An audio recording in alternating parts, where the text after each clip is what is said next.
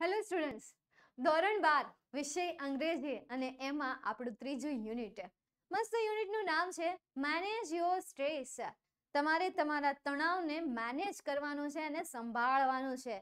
તણાવમાં હોય તો એ તણાવને દૂર કરવાનો પ્રયત્ન કરવાનો છે. કાઢીને આમ દૂર ફેંકી દેવાનું છે, ઘા કરી દેવાનું છે, ટાટા બાય કરી દેવાનું છે. તો તમારું ત્રીજું યુનિટ છે, ત્રીજા યુનિટનું રીડ વન છે, થ્રી પોઈન્ટ વન. મતલબ ત્રીજા યુનિટનું રીડ વન અને એ રીડ વન છે manage your stress strengthening mental flexibility એટલે કે તમારી માનસિક ક્ષમતાને તમારે મજબૂત બનાવવાની છે. અહીંયા તમને આપ્યું છે સ્ટ્રેન્થનિંગ મતલબ કે તમારે તમારી માનસિક ક્ષમતાને મજબૂત બનાવવી, મજબૂત કરવી. અને મજબૂત કરવી હોય ને, તો સૌથી પહેલા be a kid with no stress no worries no care in the world એક બાળક બની જાઓ કે જેને આ વિશ્વમાં કોઈ પણ પ્રકારની ટેન્શન જ નથી, કોઈ પણ પ્રકારની ચિંતા નથી અને કોઈ પણ પ્રકારની સંભાળ પણ નથી. બે કે ગમે ત્યાં દોડ્યું જાય છે, એને પોતાની પણ કેર નથી હોતી. બાળક બની જાઓ, અડધું ટેન્શન તમારું આમને દૂર થઈ જશે. ચાલો, તો હવે આપણે ફાઇનલી આપણા લેક્ચરની આપણા સેશનની શરૂઆત કરીશું. માઇન્ડ ઇમોશન્સ એન્ડ બોડી મન, લાગણી અને શરીર are all closely interlink closely એટલે કે નજીકથી. ઇન્ટરલિંક એટલે કે જોડાયેલા હોય છે. ઇન્ટરલિંક એટલે શું થશે? જોડાયેલા હોય છે.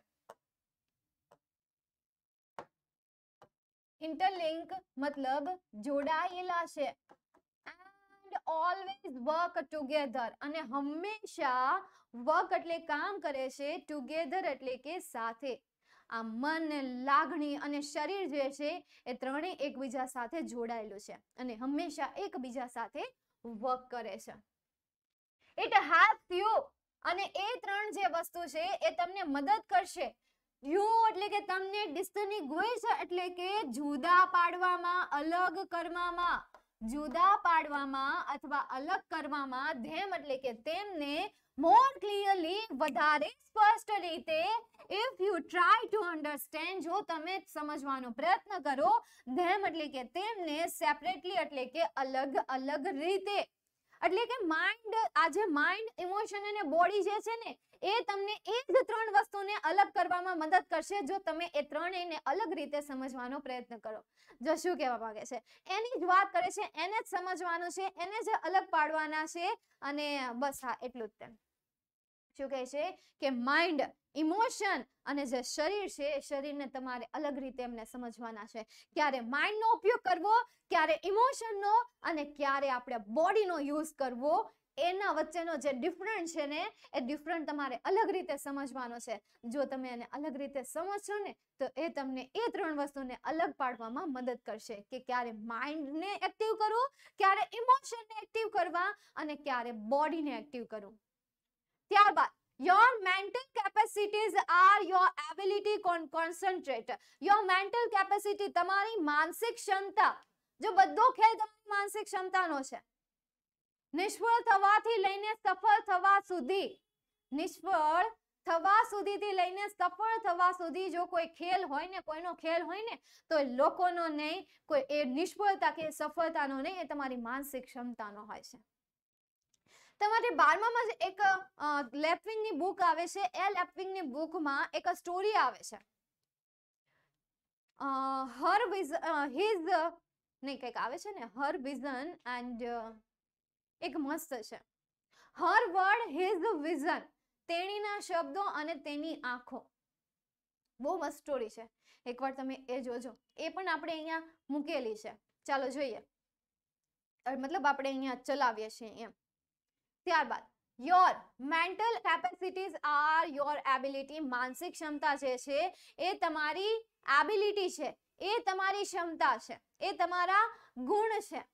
ટુ કોન્સન્ટ્રેટ કોન્સન્ટ્રેટ એટલે કે ધ્યાન કેન્દ્રિત કરવા માટે. To take in new information નવી માહિતીને લેવા માટે. ટુ રિમેમ્બર યાદ રાખવા માટે ઓલ્ડ એન્ડ ન્યૂ ઇન્ફોર્મેશન નવી અને જૂની માહિતીને યાદ રાખવા માટે.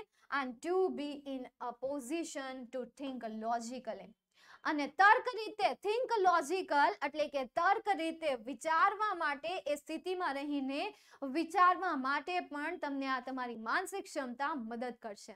ફરી વખત એ સેન્ટેન્સ શું કહેવા માંગે છે? સમજો કે ભાઈ માનસિક ક્ષમતા જે છે એ તમને તમારી એબિલિટી તમારી એબિલિટીને ઓળખવા માટે મદદ કરશે, તમારું ધ્યાન કેન્દ્રિત કરશે, નવી માહિતી મેળવવા મદદ કરશે, નવી જૂની માહિતીને યાદ રાખવા મદદ કરશે અને તર્કબદ્ધ રીતે તમે કોઈ પણ સિચ્યુએશનમાં વિચારી શકો એ વિચાર કરવા માટે પણ આ માનસિક ક્ષમતા તમને મદદ કરશે. ત્યારબાદ જઈએ.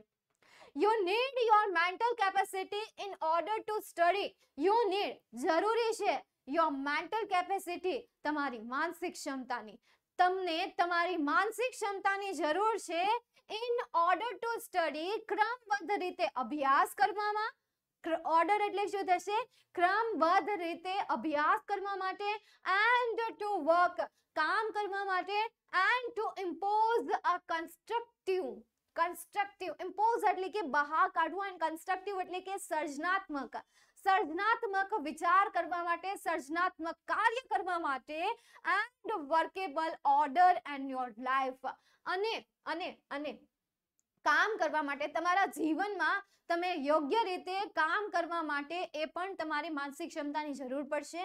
And to make a rational day to day decisions rational day to day decision દિવસ દરમિયાનના જે ડિસિઝન નિર્ણયો છે, ક્રમિક નિર્ણયો છે, એ ક્રમિક નિર્ણયો બનાવવા માટે પણ. ફોર એક્ઝામ્પલ ઉદાહરણ તરીકે if you had the choice of walking to work or taking the car if you had ઉદાહરણ તરીકે તમારી પાસે પસંદગી છે. પહેલી પસંદગી એ કે તમે વોકિંગ ચાલીને કામ કરવા માટે જાઓ. બીજી પસંદગી છે કે તમે ગાડીમાં કામ કરવા ગાડી લઈને કામ કરવા જાઓ. આ બે પસંદગી છે. હવે આ બે પસંદગીમાંથી કઈ પસંદગી આપણે પહેલા કરવી એ તમારે પરિસ્થિતિ પરથી કરવાની હોય. ચાલો જોઈએ પરિસ્થિતિ શું છે અને ધ ફેક્ટ એટલે કે બાબત કંઈક એવી છે ઇટ વોઝ રેનિંગ હાર્ડ ત્યાં સખત વરસાદ પડી રહ્યો છે. And you had a cold could lead you to the decision you had a cold અને તમને સાથે સાથે ઠંડી પણ છે, શરદી પણ છે. એક તો ભારે વરસાદ પડી રહ્યો છે, ઉલટાનું તમને શરદી પણ છે. તો હવે તમે વિચારો કે તમે કયો ઓપ્શન પસંદ કરશો? ઓબ્વિયસલી કાર જોઈએ. અને આ શરદી જે છે, એ કુડ લીડ યુ તમને લઈ જાય છે ક્યાં યુ ટુ તમને ટેક અ ડિસિઝન એ નિર્ણય તરફ that it was better to take the car અને આ જે બાબત છે, આ જે પરિસ્થિતિ છે, આ જે સિચ્યુએશન છે, એ સિચ્યુએશન તમને કાર લઈ જવા તરફ પ્રેરણા આપશે લીડ એટલે કે દોડશે, પ્રેરણા આપશે, એ તરફ તમે નિર્ણય લેશો. નેક્સ્ટ સ્લાઇડ પેશ કી જાય. That would be a rational decision. અને આ જે તમારો રેશનલ ડિસિઝન જે છે, આ જે તમારો નિર્ણય છે, એ નિર્ણય base on the current circumstances અને આવા જે નિર્ણયો હોય છે, એ હાલની પરિસ્થિતિ બેઝ લેવામાં આવે છે. હાલની પરિસ્થિતિ પરથી લેવાય છે નિર્ણયો એમ ન લેવાય હવામાં.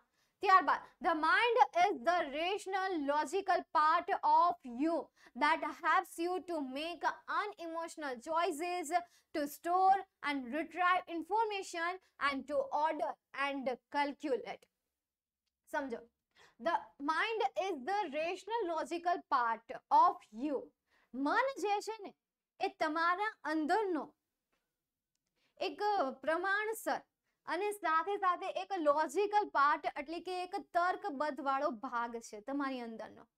આ ધ માઇન્ડ એટલે કે મનની વાત થાય છે. એ તમારી અંદરનો એક તર્કબદ્ધ ભાગ છે.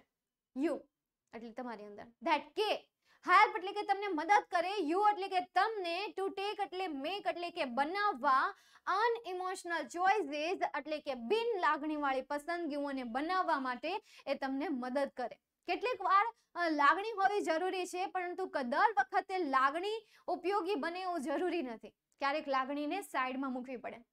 તો આ જે બિન લાગણી જે છે, એમને, એમની જે પસંદગીઓ છે, એ પસંદગીઓને કરવા ટુ સ્ટોર અને સાથે સાથે માહિતીને ભેગી કરવા રિટ્રાઈવ એટલે કે પાછી મેળવવા.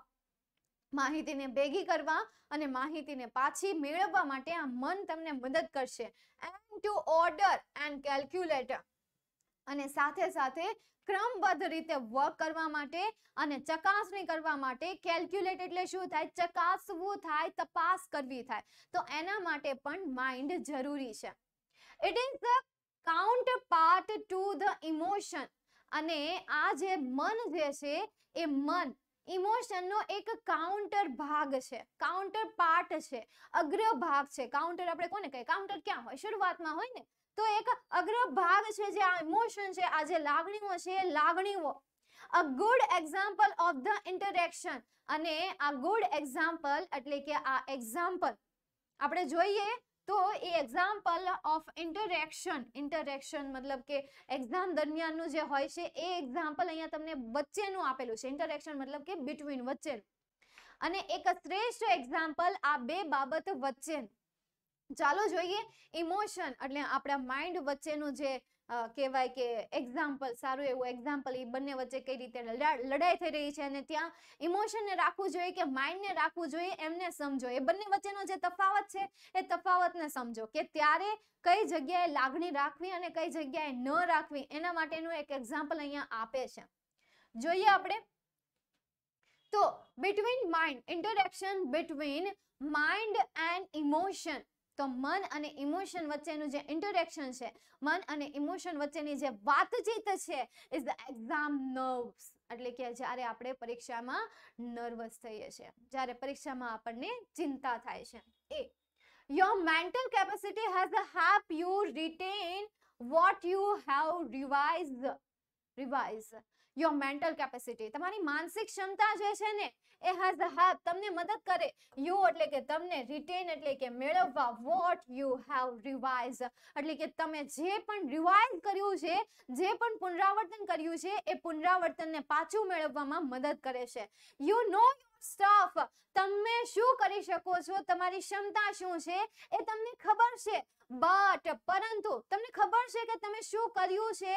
અને તમે જે પણ તમે કર્યું છે રિવાઇઝ કર્યું છે, અને તમે યાદ પણ રાખ્યું છે, અને તમે મેળવી પણ શકો છો. બટ પરંતુ when you enter the exam room પરંતુ જ્યારે તમે એક્ઝામ રૂમમાં એન્ટર થાવ છો ને, ત્યારે સ્ટાર્ટ ગેટિંગ ઇમોશનલ ત્યારે તમે ઇમોશનલ થઈ જાઓ છો, લાગણીભર થઈ જાઓ છો by expecting difficulties and imaging failure expecting એટલે કે પૂર્વધારણા કરવી. શેની પૂર્વધારણા કરવી? નિષ્ફળતાની પૂર્વધારણા કરવી. ડિફિકલ્ટ મુશ્કેલીઓની પૂર્વધારણા કરવી. સફળતા સફળતાની પૂર્વધારણા કરો. It is good for our health and good for our mind and good for our opportunity and goal but તમે અહીંયા એક્સપેક્ટિંગ તમે તમે જે પૂર્વ ધારણા કરો છો એન્ટિસિપેટિંગ એક્સપેક્ટિંગ જે તમે કરો છો, એ ડિફિકલ્ટની કરો છો. અને બીજી સાથે સાથે કઈ કરો છો? ઇમેજિંગ ફેલર એટલે કે નિષ્ફળતાનો વિચાર અને મુશ્કેલીઓની જે આપણે પૂર્વ ધારણાઓ કહીએ, પહેલાના જે વિચાર કહીએ, એ વિચાર તમને શું કરે છે? ઓલ ઓફ અ સડન અને આ બધામાં આ બધામાં અચાનક ધ કેરફુલી સ્ટોર એટલે કે સંભાળ જે આપણે સ્ટોર કર્યું છે, એ સંભાળીને સ્ટોર કરેલી માહિતી ઇઝ નો લોંગર અવેલેબલ એટલે કે લાંબા સમય સુધી ત્યાં રહેતી નથી રિમૂવ થઈ જાય છે. માત્ર ને માત્ર બે વિચારથી એક પૂર્વધારણા મુશ્કેલીઓની, બીજું નિષ્ફળતાનો જે વિચાર છે માત્ર આ વિચારથી તમે જે ધ્યાનથી જે માહિતી સ્ટોર કરી છે ને એ માહિતી રિમૂવ થઈ જાય છે અહીંયાથી have bad the way to your inner information store your emo em- emotions એટલે કે તમારી જે લાગણીઓ છે એ how bad રોકે છે the way એટલે કે રસ્તો to your inner information store એટલે કે તમારી આંતરિક જે માહિતી છે ને, એ આંતરિક તમે જે અંદર તમે જે માહિતીનો સંગ્રહ કર્યો છે ને, એ માહિતીના સંગ્રહને જે રસ્તો છે ને, એ રસ્તાને રોકે છે, બહાર આવતા રોકે છે. Do you find yourself reacting in any of the following ways? પછી તમને નીચે કેટલાક મુદ્દાઓ આપેલા છે. એમ નહીં કે ઉપરના મુદ્દા. તો ડુ યુ ફાઇન્ડ શું તમે આવું કંઈક મેળવો છો યોર સેલ્ફ રિએક્ટિંગ એટલે કે આમાં કંઈક એક્શન આપતું હોય કોઈ પણ મુદ્દામાંથી?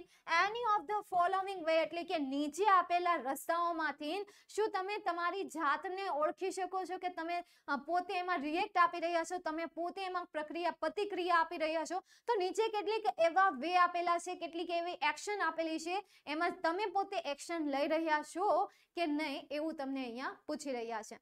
તો એ જે મુદ્દા છે, એ મુદ્દાને આપણે આ લેક્ચરમાં તો નથી જોવાના. તો તમે સમજી ગયા ને કે અહીંયા સુધી હું સમજાવવાની છું. ચાલો, તો મળીએ આપણે નેક્સ્ટ લેક્ચરમાં ટેન્શન નહીં લ્યો યાર ટેન્શન લેવાનું કામ. આપણી જુતી ના કરે, આપણે શું કામ ટેન્શન લઈએ? ને, આપણી જુતી પણ ના કરે. ટેન્શન ટેન્શન ટેન્શન પોતે લે, આપણે શું કામ લેવું? તો સ્વસ્થ રહો, ખુશ રહો. ટેન્શનને કહો tata bye bye take a chill pill all is well જય હિન્દ, વંદે માતરમ. જય જય ગુજરાત.